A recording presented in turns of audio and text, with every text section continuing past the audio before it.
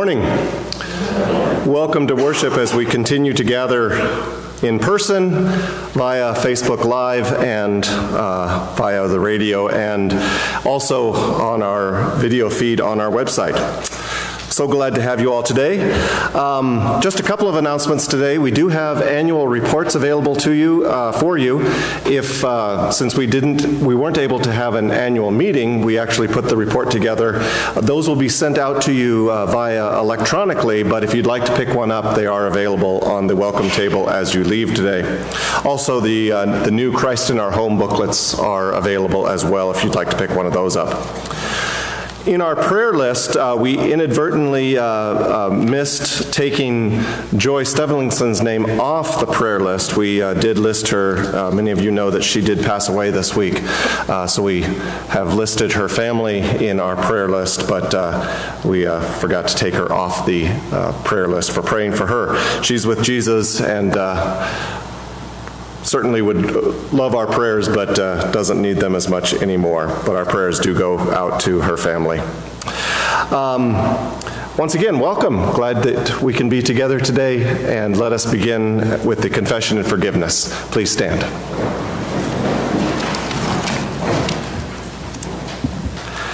Blessed be the Holy Trinity, one God whose steadfast love is everlasting, whose faithfulness endures from generation to generation.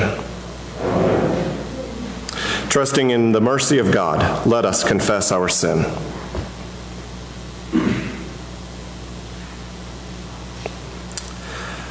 Reconciling God, we confess that we do not trust your abundance, and we deny your presence in our lives. We place our hope in ourselves and rely on our own efforts. We fail to believe that you provide enough for all we abuse your good creation for our own benefit.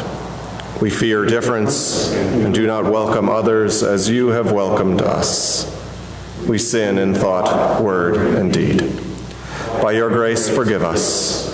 Through your love, renew us, and in your spirit, lead us, so that we may live and serve you in newness of life. Amen. Beloved of God, by the radical abundance of divine mercy, we have peace with God through Jesus Christ, through whom we have obtained grace upon grace. Our sins are forgiven. Let us live now in hope, for hope does not disappoint, because God's love has been poured into our hearts through the Holy Spirit. Amen. We sing together, Let Us Ever Walk with Jesus.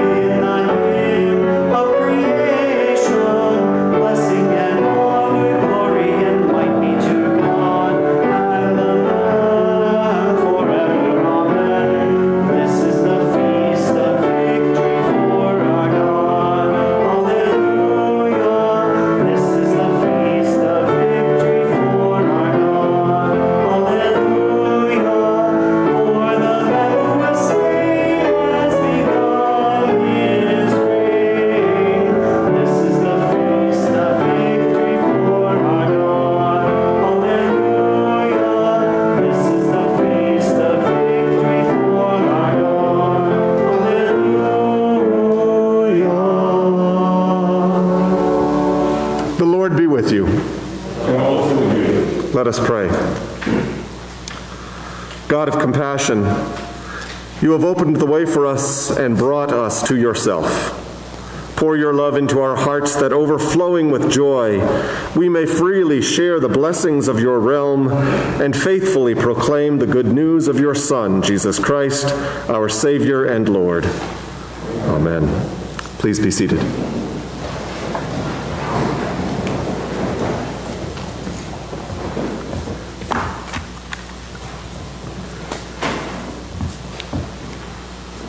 The Israelites had journeyed from Rephidim, entered the wilderness of Sinai, and camped in the wilderness.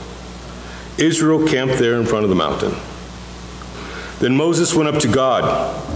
The Lord called to him from the mountain, saying, Thus you shall say to the house of Jacob, and tell the Israelites, You have seen what I did to the Egyptians, and how I bore you on eagle's wings, and brought you to myself. Now, therefore, if you obey my voice and keep my covenant, you shall be my treasured possession out of all the peoples. Indeed, the whole earth is mine, but you shall be for me a priestly kingdom and a holy nation. These are the words that you shall speak to the Israelites. So Moses came, summoned the elders of the people, and set before them all these words that the Lord had commanded him. The people all answered as one Everything that the Lord has spoken, we will do. Word of God, word of life. Thanks be to God. Our psalm this morning is we're going to sing the refrain together, and you guys sing the bolds as well, okay? I think, right? Yeah? We're going to try this? All right.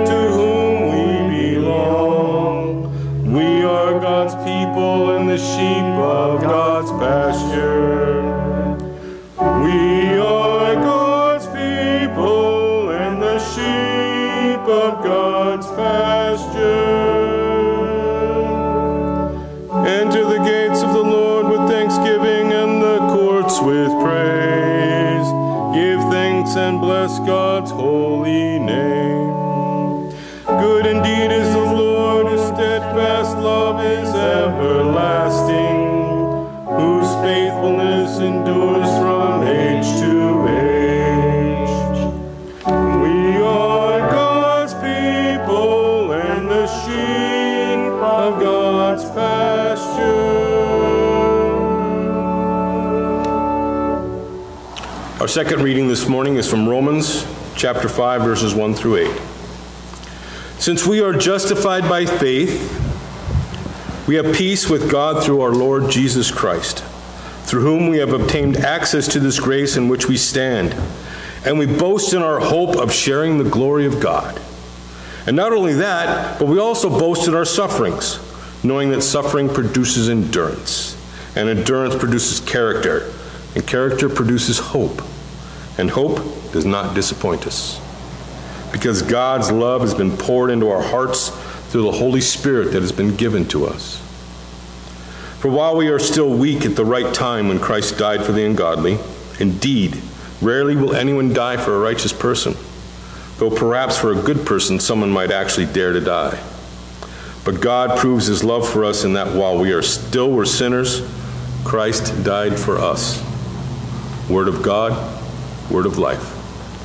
Thanks be to God. Please stand.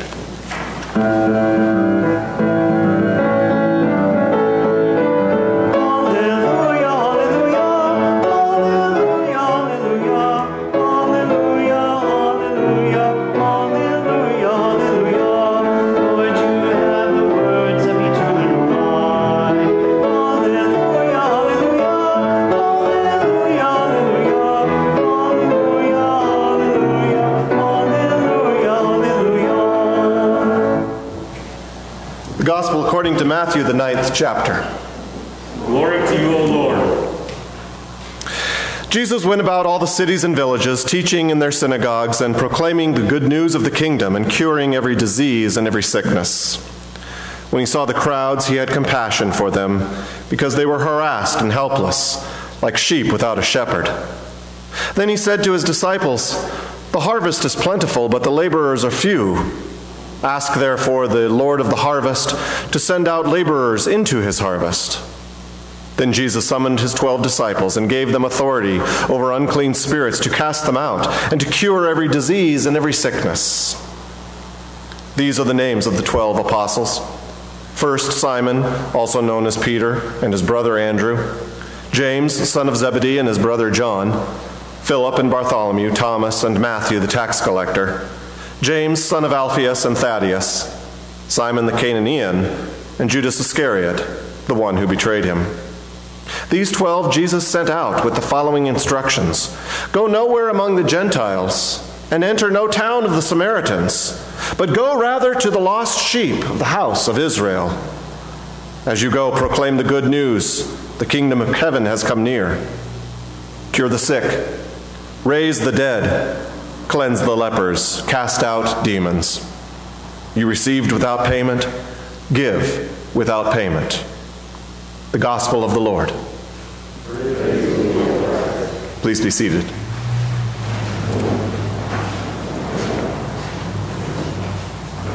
Grace to you and peace from God our Father and from our Lord and Savior Jesus Christ. Amen. I have several friends who were adopted as children. Some of them don't know very much about their lives before adoption, except perhaps that they came from a certain part of the country or a different country altogether. Some of them knew their birth parent during their growing up years. Others have had no idea who or where that person is and where they are now. And of course, some have taken up the task of searching out the person or persons who gave them birth. No matter the circumstances, people who are adopted often have taken to celebrating an additional special day in their year. Each day it comes around. Like a birthday, but different. adopted children and adults get to celebrate what they call Gotcha Day. It's the day of the year when their adoptive parents signed on the dotted line and claimed this child as their own. It's the day when the adoption was made official in the eyes of the law, but also when the titles mom and dad and my child could be used without, without any sort of contingency. Singer songwriter Steven Curtis Chapman has a song about adoption, and in this song he describes not only the longing of a child to be in a place where they are wanted and loved, but also the longing of the parent to bring that child into their arms, into their family. The song goes like this. And somewhere while you were sleeping, someone else is dreaming too, counting down the days until they hold you close and say, I love you. And like the rain that falls into the sea, in a moment, what has been is lost in what will be when love takes you in. The part of the story from Exodus that we heard read today is Israel's gotcha day. It's part it's the part of the story when God officially says to these people who have been brought out of slavery and put on a path toward a promised land of milk and honey, who have been adopted by God. When God officially says, I have been counting down the days until I can hold you close and say, I love you. Today, love takes you in. Treasured possession, priestly kingdom, holy nation. These are the words that God uses to describe young Israel. Like a new mom and dad might say, sweet baby girl, or precious little boy. Come and make your home with me. There is love, belonging, purpose, and much joy to be found as we journey together. Whether the birthday of a child, the day they come home with you and sleep under the same roof, or a, gotcha day, there is reason to celebrate. And yet, not every day that follows is to be remembered and celebrated equally. There are and will be days when you want to send that child back, when you don't know if your love is going to run out. I can remember my mother using my middle name. And if ever my mother used my middle name, I knew that something was wrong. More specifically, I knew that my mother had found out about something that I already knew that I had done wrong. Like the time she found the matchbooks that had been taken out of the kitchen cupboard and used to create little bonfires behind the shed in the backyard. Or the time when I cut my sister's hair just because I was angry that I had been made to stay at home while my friends were playing outside. These are not the times that one thinks about when love takes you in, and yet it is exactly why families have rules and why people make promises of fair living with one another when they agree to share their lives with one another. God is no different if you obey my voice. If you keep my commandments, God says, then you shall belong to me, and I to you. Perhaps this makes God seem judgmental. Perhaps we complain to God, Your rules are too mean. I don't like your decision to make me do this or that. Are we any different than any child who has ever lived? But let us not lose sight of the fact that it is God who has chosen us. The Israelites as they are rescued from slavery in Egypt, and us as we are rescued from sin and death through the waters of baptism. God has claimed us. God has given us a home. God has said, I gotcha. And nothing will ever break that bond of love.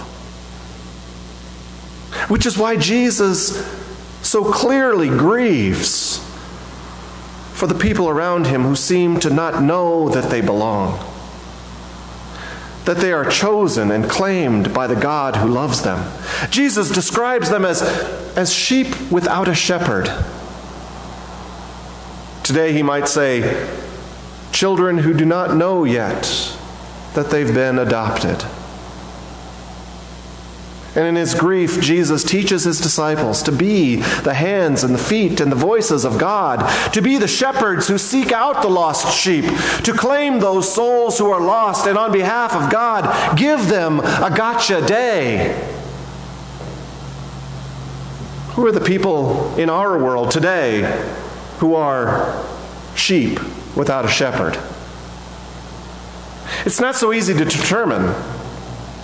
We might say that the poor are those who are sheep without a shepherd, and, and to the extent that the poor need community, often that they are neglected of, that can be true. And yet, I've met many who are poor in the wealth of this world, who yet celebrate every day the blessings that come from their mutual love of Jesus. Perhaps the grieving, sometimes, sometimes they seem like sheep without a shepherd. And to, again, to the extent that, that the grieving are sometimes pushed off in our society and left to grieve alone, that can be true. And yet, many who grieve can also draw great strength in knowing that God holds them close and gives them comfort.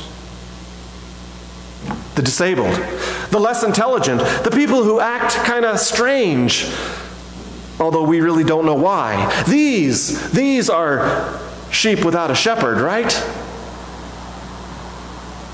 Not always. And actually, not usually. Most people who are differently abled than us are quite confident in, in the lives that they've been given from God. And if you think that it's people who don't have the same religion as you and me, who are not followers of Jesus, that these are sheep without a shepherd, well, you might just notice that Jesus doesn't seem to be that concerned with those who experience God through different traditions. He tells his disciples not to go outside their borders when they go to proclaim the good news to the lost sheep of the house of Israel. It's not other religions that Jesus is worried about. Who are those that Jesus says are sheep without a shepherd?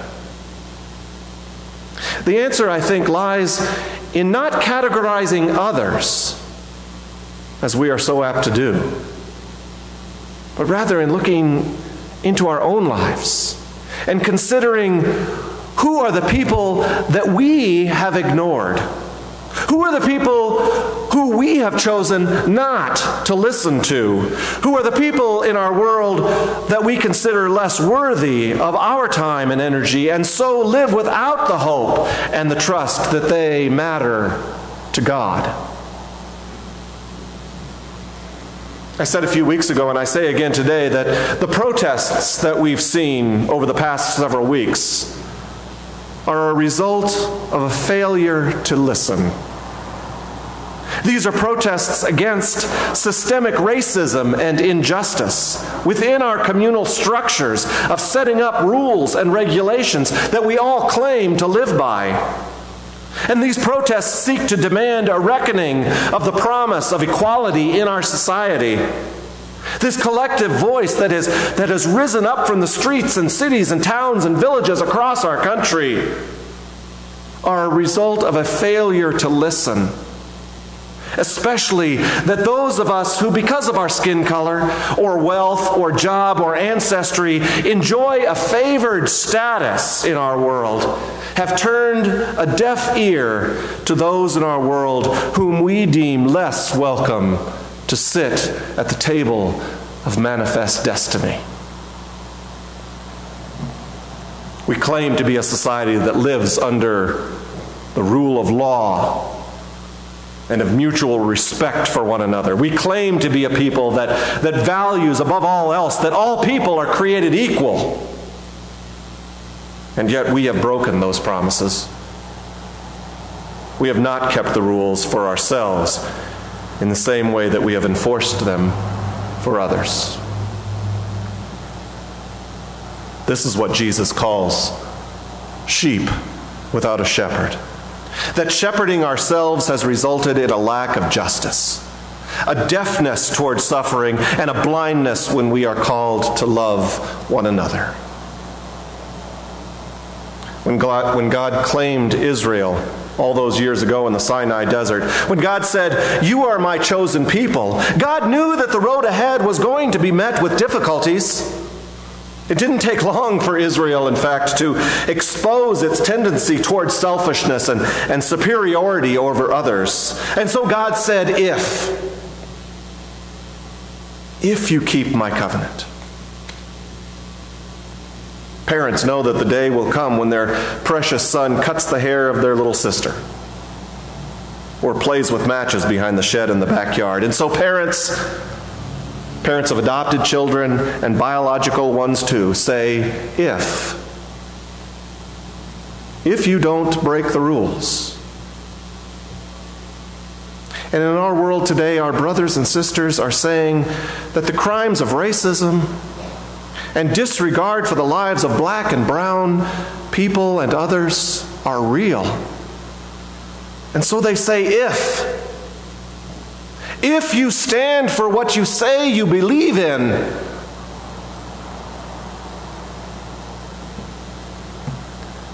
let us be shepherds to one another.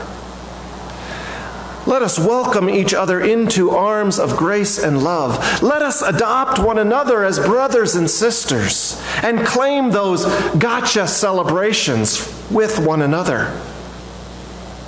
Let us be the people of God whom God once proclaimed a holy nation.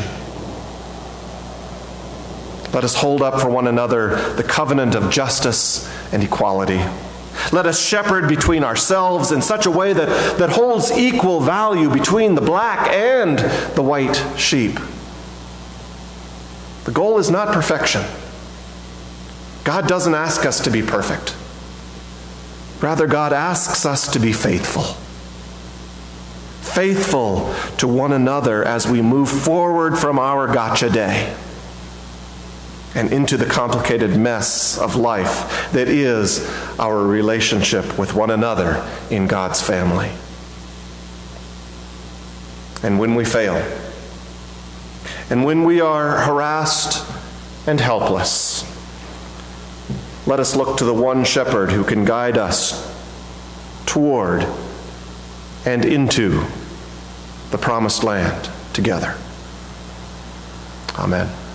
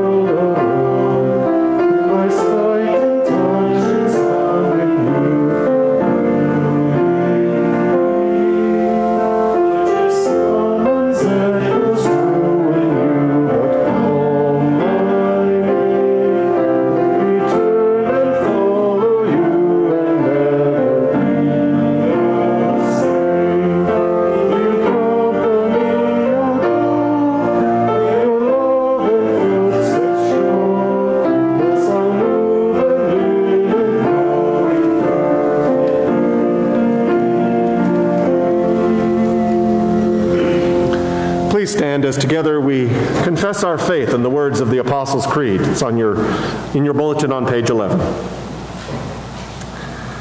I believe in God, the Father Almighty, creator of heaven and earth. I believe in Jesus Christ, his only Son, our Lord, who was conceived by the Holy Spirit and born of the Virgin Mary, suffered under Pontius Pilate, was crucified, died, and was buried. He descended to the dead. On the third day he rose again. He ascended into heaven. He is seated at the right hand of the Father, and he will come to judge the living and the dead.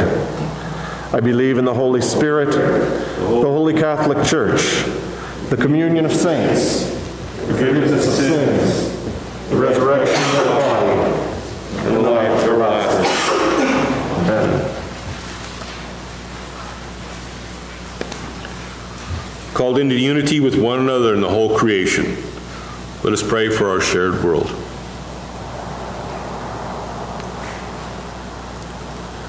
Great Shepherd, you have claimed us as your own, and we are the sheep you hold dear.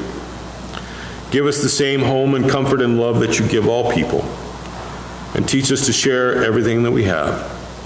Hear us, O God. Your mercy is great. Guide us towards justice and equality. Let us hear the voices of our neighbors when they cry out for peace. Give us strength and courage to reform our lives and our society that we all that we that all may be one. Hear us, O God. Your mercy is great. Bless the servants among us who care for the sick, the lonely, and the lost. Give nurses and therapists, hospice, hospice workers and counselors, teachers, coaches, and mentors the grace to stretch out their hearts toward those for whom they care. Hear us, O God. Your mercy is great. We lift up to you, great healer of every ill, the suffering people in our world, those who are sick, those who grieve, those who long for comfort. Hold those, especially Louise, Bill, Terry, Shane, Roland, Janet, Bob, and Sue, Beverly, Tia, Linda, Ada, and Tom, Doug and Heidi, Dale and Bev. Hear us, O God. Your mercy is great. We give thanks for the holy ones who have blessed our lives and now live eternally with you, especially Joy and, and Gerald. Sustain us in your mission until the day you bear us up to take our place with all the saints in light. Hear us, O God. Your mercy is great. Receive these prayers, O God, and those too deep for words. Through Jesus Christ our Lord. Amen. Please be seated. Once again, we won't pass the plate today in our uh, in-person worship. There are plates available in the commons if you brought your offering, or you may continue to mail that in to our office or give online through our offering portal on our website. Thank you for your generosity, your compassion, and your love for the mission of this community and for those in our world who are in need.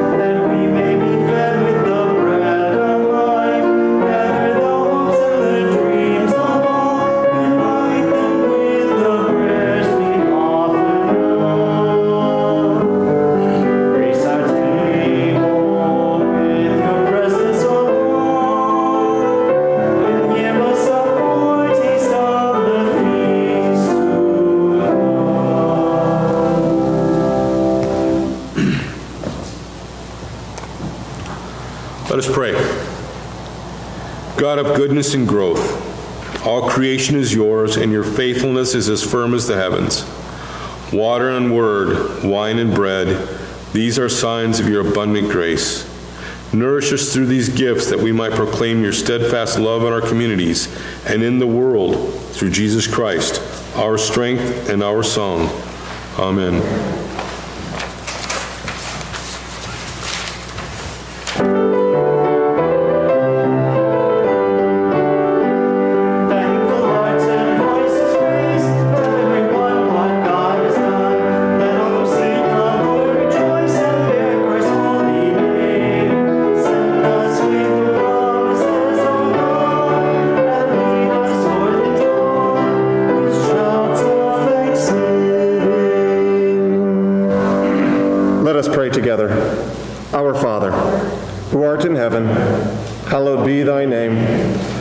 Kingdom come, thy will be done, on earth as it is in heaven. Give us this day our daily bread, and forgive us our trespasses, as we forgive those who trespass against us. And lead us not into temptation, but deliver us from evil. For thine is the kingdom, and the power, and the glory, forever and ever. The Lord bless you and keep you. The Lord's face shine on you and be gracious to you. The Lord look upon you with favor and give you peace in the name of the Father and the Son and the Holy Spirit. Amen. Before we go today, just a reminder that our welcome hosts will usher you out, starting from folks in the back. Uh, we'll go ahead and move ourselves all the way out. I don't think the rain has started again today, so outside is probably a wonderful place to be able to greet one another and to share a few words of, of peace with one another. Let us sing as we go, however, of our beautiful Savior.